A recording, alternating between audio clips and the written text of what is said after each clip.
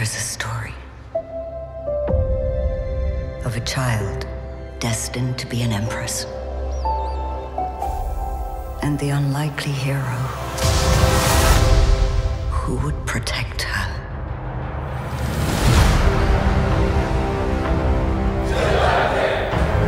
There is a balance between all things.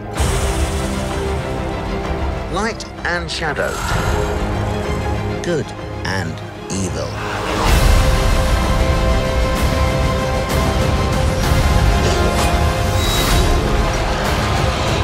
When that balance is upset,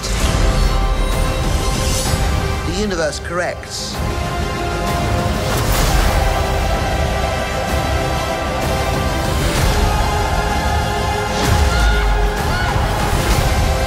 The world needs you again. It needs your magic.